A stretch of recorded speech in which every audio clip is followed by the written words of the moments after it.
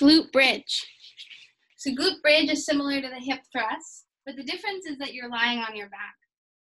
You'll have something for your feet to elevate onto, or you may just have your feet flat on the ground. But for today, we're gonna elevate the feet. Bring your band around your knees to make this more challenging. By again, adding that hip abduction into it.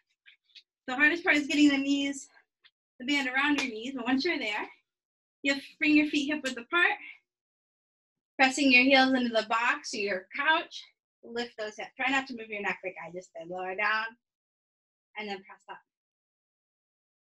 If you feel your knees want to cave in, keep pressing them away into that band. You're creating tension throughout the whole movement. Feel free to add your weight if you have one. You can bring uh, a towel or blanket or some sort of padding here under your low belly if this bothers you. But if it's not too heavy, it should be okay. Setting yourself up and then just keep your hands on the weight so it doesn't come into your face.